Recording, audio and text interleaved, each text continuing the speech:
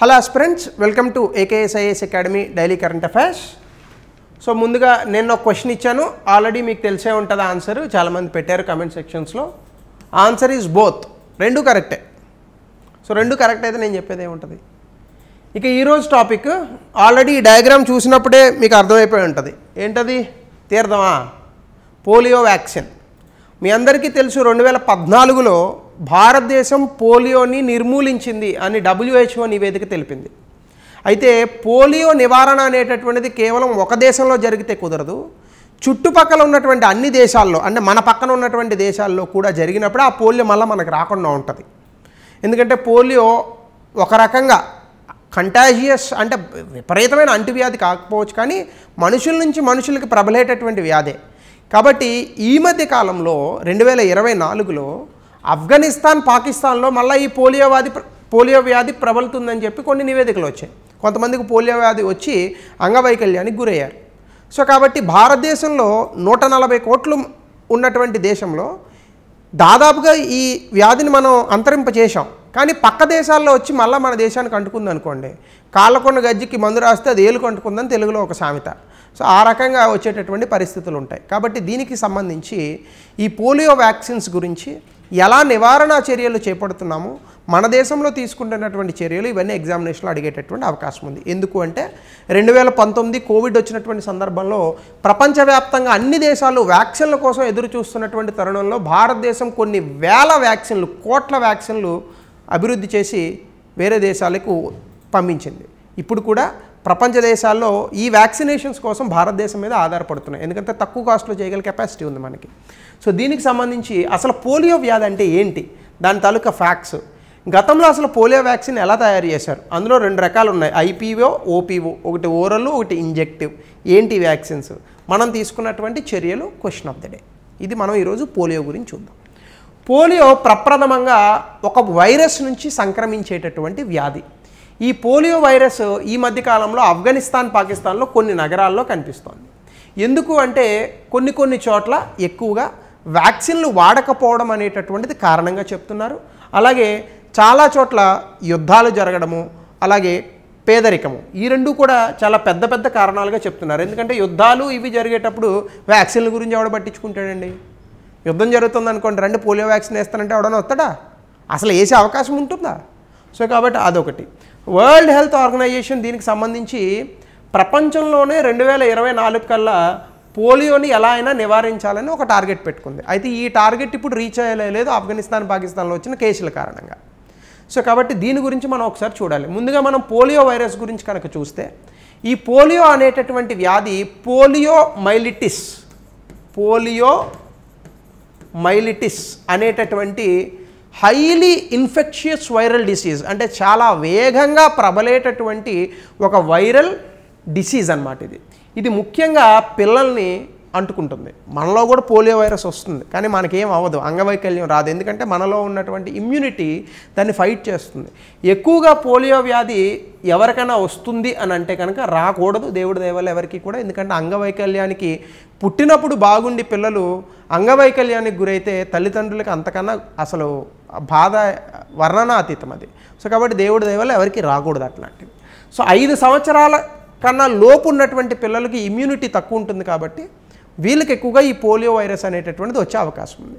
ఈ polio virus యాక్చువల్గా ఇందులో మూడు రకాలు ఉంటాయి. P one P two P three ప్రపంచంలో ఈ పీ టూ మోడల్ నుంచి వచ్చేటటువంటి వైరస్ అంటే ఏంటి సార్ ఈ P one P two P three అని అనుకోవచ్చు మీరు. కోవిడ్లో ఫస్ట్లో చూడండి కోవిడ్ వేరియంట్ వన్ తర్వాత వేరియంట్ టూ వేరియంట్ త్రీ అని రకరకాలు వచ్చాయి కదా. అంటే తమ తాలూకా ఏమంటారు ఆ స్ట్రక్చర్ని మార్చుకున్నటువంటి వైరస్లు. ఇలాగే వైరస్లో రకాలన్నమాట ఇవి. అందులో పీ టూ అనే పోలియో వైరస్ని పంతొమ్మిది వందల తొంభై తొమ్మిదిలోనే ప్రపంచంలో అంతం చేశారు. నివారించారు. అది పోయింది. అలాగే పీ వన్ పీ త్రీ ఇంకా ప్రపంచంలో ఉన్నాయి. సో కాబట్టి భారతదేశంలో కనుక మీరు చూస్తే రెండు వేల పద్నాలుగులోనే పోలియో అంతరించిపోయింది. అలాగే ముఖ్యంగా మన దేశంలో ఉన్నటువంటివి ఈ పీ వన్ పీ త్రీని పూర్తి స్థాయిలో మనం నివారించగలిగాం. కానీ ఒకవేళ వేరే దేశాల్లో వస్తే మళ్ళీ మనకు వచ్చేటటువంటి అవకాశం ఉంది. సో దీనికి సంబంధించి జనరల్గా మనకి వ్యాక్సిన్స్ వేస్తారు. ఓరల్ వ్యాక్సిన్ అని ఒకటి ఉంటుంది. ఇది ఆరు వారాలు పది వారాలు పద్నాలుగు వారాలు. నాకు బాగా గుర్తుంటాయి. మా అబ్బాయికి మొన్న వేయించాను. అందుకే గుర్తుంది. So sixth week tenth week fourteen వీక్స్కి వేస్తారు. ఇంజెక్షన్ అంటే ఇంజెక్షన్ పొడుస్తారు సూది మందు. అది ఐపీవీ వ్యాక్సిన్ అంటారు. సో ఇది ఆరు వారాలకి పద్నాలుగు వారాలకి ఒకసారి వేస్తారు. అలాగే ఓపీవీ బూస్టర్ అని ఒకటి ఉంటుంది. ఇంజెక్షన్ అయితే మోర్ ఎఫెక్టివ్ అనమాట అంటే ఒకసారి రెండు ఒక రెండు ఇంజక్షన్లు పడితే ఇంకా లైఫ్ లాంగ్ మీకు టీకా పడిపోతుంది. ఓపీవీ అలా కాదు. రెండు మూడు సార్లు వేసిన తర్వాత మళ్ళీ బూస్టర్ వేస్తారు. అది పదహారు ఇరవై నాలుగు నెలలు.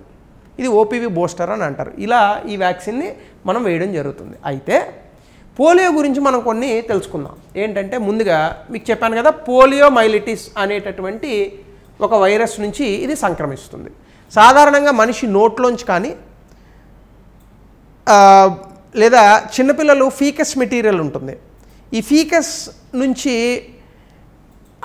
అన్హైజీనిక్ కండిషన్స్లో పోలియో ఎక్కువ వస్తుంది. అంటే ఎక్కువగా చాలా చూడండి ఇబ్బందిగా పెట్టుకుంటారు కొంతమంది. వాళ్ళకు ఉన్నటువంటి ఆర్థిక పరిస్థితుల వల్ల వాళ్ళు ఉన్నటువంటి ప్రాంతాలను బట్టి కూడా చాలా ఇబ్బందికరమైన పొజిషన్స్లో ఉంటారు కొంతమంది. అలాంటి చోట్ల ఈ వైరస్ ఎక్కువగా ప్రబలేటటువంటి అవకాశం ఉందన్నమాట.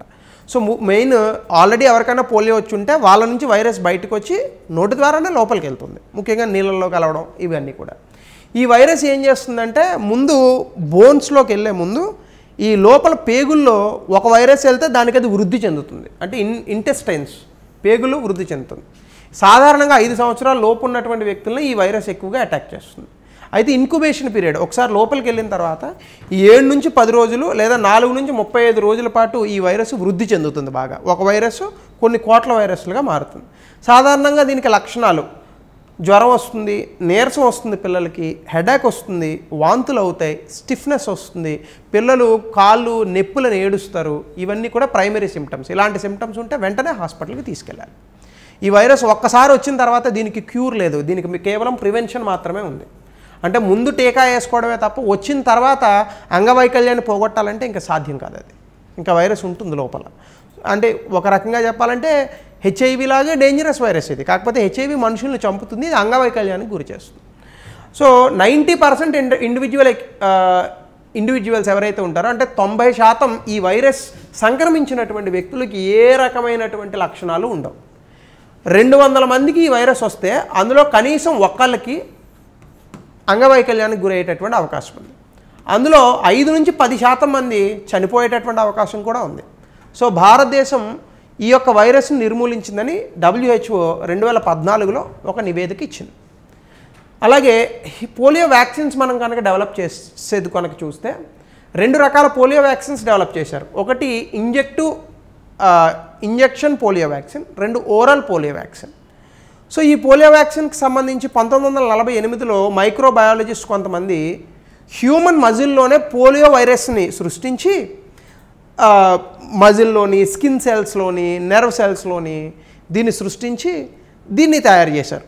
అంటే మీకు సింపుల్గా చెప్తాను ఇంజెక్టివ్ పోలియో వ్యాక్సిన్ ఉందనుకోండి ఇది ఎలా తయారు చేస్తారంటే పోలియో వైరస్ని ఈ మైక్రోస్కోప్ పెట్టి తీస్తారు. తీసి ఏం చేస్తారు? చనిపోయిన వైరస్ని కానీ అంటే డెడ్ వైరస్ని కానీ లేదా వీకెండ్ లేదా ఇన్యాక్టివ్ అని అంటారు. అంటే బతికుంది కాకపోతే వెంటిలేటర్ మీద ఉందన్నమాట. పోలియో వైరస్ బతికుంది కాకపోతే వెంటిలేటర్ మీద ఉంది. దాన్ని ఇన్యాక్టివ్ వైరస్ అని అంటారు. ఈ డెడ్ వైరస్ని కానీ ఇన్యాక్టివ్ వైరస్ని కానీ తీసుకొని దీంతో వ్యాక్సిన్ తయారు చేసి మన ఒంట్లోకి పంపిస్తారు ఇంజెక్షన్ ద్వారా. లోపల మనకున్నటువంటి రోగ నిరోధక శక్తి అని అంటాం. అంటే మన లోపల ఉన్నటువంటి వైట్ బ్లడ్ సెల్స్ ఉంటాయి మన బాడీలో. ఇవి ఏం చేస్తాయంటే ఏదైనా ఒక వైరస్ బాడీకి సంబంధించినటువంటి వైరస్ లోపలికి వెళ్తే దాని మీద దాడి చేస్తాయి. అందుకే మనకు వెంటనే ఫీవర్ ఎందుకు వస్తుంది? లోపల మన ఇమ్యూనిటీ ఫైట్ చేస్తేనే ఫీవర్ వస్తుంది ఆబ్వియస్గా సో ఈ డెడ్ ఆర్ ఇన్యాక్టివ్ వైరస్ ఎప్పుడైతే మన బాడీ లోపలికి వెళ్ళిందో మన లోపల ఉన్నటువంటి రోగ నిరోధక శక్తి ఈ యొక్క వైరస్తో ఢీ కొడుతుంది. ఇది ఆల్రెడీ చచ్చిపోయింది కదా? లేకపోతే వెంటిలేటర్ మీద ఉంది. కాబట్టి మన బాడీలో ఉన్నటువంటి రోగ నిరోధక శక్తి దీన్ని చంపేస్తుంది. అలా కాకుండా లైవ్ వైరస్ వెళ్ళింది అనుకోండి అంటే బాగా బలంగా ఉన్న వైరస్ వెళ్ళింది అనుకోండి చంపలేదు అప్పుడు. దీని ఆర్మీ పెరిగిపోద్ది. అంటే ఇది ఎక్కువ బలంగా ఉంటుంది వైరస్. కాబట్టి లోపల ఉన్నటువంటి రోగ నిరోధక శక్తి దాన్ని చంపలేదు. అంటే అంత రోగ నిరోధక శక్తి రావాలంటే భీముల్లా ఉండాలి. ఆయన మహానుభావుడు మహాభారతంలో విషం పెట్టినా కూడా అరాయించుకున్నాడంట ఆయన. అరే విషం ఉన్న అన్నంలో అంటే ఆ తినేస్తే అదే అరిగిపోద్దులు అని తినేసాడంట ఆయన. మనకు అంత సీన్ లేదు కదా. సో కాబట్టి డెడ్ ఆర్ ఇన్యాక్టివ్ వైరస్ వెళ్తే లోపల నోర రోగ నిరోధక శక్తి దాంతో పోరాడి దాన్ని మళ్ళీ చంపేస్తుంది. సో అది గుర్తుపెట్టుకుంటుంది ఇలాంటి వైరస్ మళ్ళీ రేపు వస్తే ఎలా పోరాడాలి అని. ఈసారి నిజమైన వైరస్ వచ్చినా కూడా ఆల్రెడీ ఎలా పోరాడాలో తెలుసు కాబట్టి ఈజీగా చంపేస్తుంది. మీకు షార్ట్కట్లో చెప్పాను.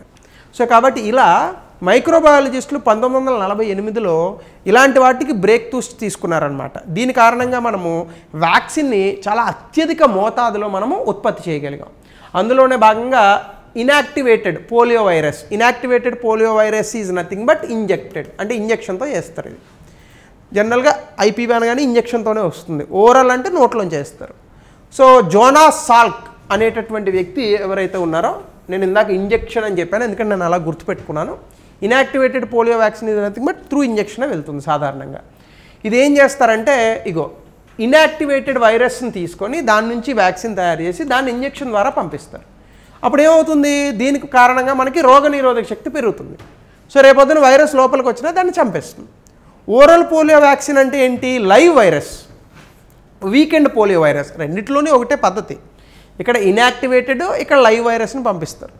ఇది పోలియో స్ట్రెయిన్స్ ఇది కూడా లోపలికి వెళ్తుంది. దానివల్ల రోగనిరోధక శక్తి పెరుగుతుంది. రేపొద్దున మళ్ళీ వైరస్ వస్తే దీన్ని చంపేస్తుంది. అయితే దీనికి దీనికి తేడా ఉంది. ఇది మోస్ట్ ఎఫెక్టివ్.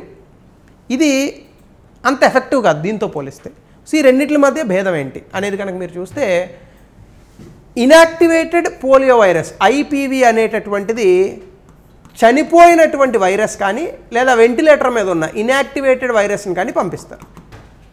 సో ఇది సేఫ్ అనమాట అంటే ఈ యొక్క వ్యాక్సిన్ వేసుకున్న సేఫ్ ఏం కాదు. ఎందుకంటే కొంతమంది పిల్లల్లో రోగ నిరోధక బాగా తక్కువ ఉంటుంది. అలాంటి వాళ్ళకి ఏమవుతుందంటే వ్యాక్సినేషన్ కారణంగా ఈ జబ్బు వస్తుంది. అది అసలు మరీ ప్రమాదం అది. ఎక్కడో ఉంటారు లక్షల్లో ఒకళ్ళు. సో కాబట్టి ఇది inactivated virus or killed virus చనిపోయినటువంటి పోలియో వైరస్ లోపల పంపించడం ద్వారా ఇంజెక్షన్ ద్వారా ఈ యొక్క వ్యాక్సిన్ కనిపెడతారు ఇది సేఫ్ అలాగే ఇది లాంగ్ లాస్టింగ్ అంటే ఒక్కసారి వేస్తే జీవితాంతం ఇది ఇమ్యూనిటీని ఇస్తుంది. ఓపీవీ ఏంటి? ఇది తక్కువ రేటు. అంటే లెస్ ఎక్స్పెన్సివ్ ప్రొడ్యూస్ చేయడం. అందుకే ఇనీషియల్గా మన దేశంలో చూడండి ఈ పోలియో చుక్కలే వేసేవాళ్ళం మనం. దాని తర్వాత ఏమవుతుంది ఇది? ఇది ఒక డోస్ కాదు కనీసం రెండు మూడు డోసులు పడాలి. ఫ్యూ డోసెస్ పడాలి. ఇది ఖచ్చితంగా mu mucosal immunity better mucosal immunity అంటే ఏంటంటే కండరాల్లో వీటిల్లోకి కూడా ఈ వైరస్ వెళ్ళినా కూడా తట్టుకునేంత రోగ నిరోధక శక్తిని ఇస్తుంది. అయితే ఇందులో డిసడ్వాంటేజెస్ ఏంటంటే ఇది రేట్ ఎక్కువ. మల్టిపుల్ డోసెస్ కావాలి. రెండు నుంచి నాలుగు డోసెస్ ఇస్తారు. అయితే మ్యూకోజల్ ఇమ్యూనిటీ అనేటటువంటిది ఇవ్వదు. అంటే ఏంటి? ట్రాన్స్మిషన్ ఆఫ్ వైరస్ ఒకరి నుంచి మరొక వ్యక్తికి సంక్రమించకుండా ఇది ఆపదు. దాన్ని మ్యూకోసల్ ఇమ్యూనిటీ అని అంటారు. ఒక వ్యక్తి నుంచి ఇంకొక వ్యక్తికి సంక్రమించకుండా ఇది ఆపలేదు. కానీ ఆ వ్యక్తికి మాత్రం పోలియో అటాక్ అవ్వకుండా ఆపగలుగుతుంది ఇదేంటిది? ఇది బేసికల్గా vaccine derived polio outbreaks ఇది rare live weakened polio virus ఉంటుంది.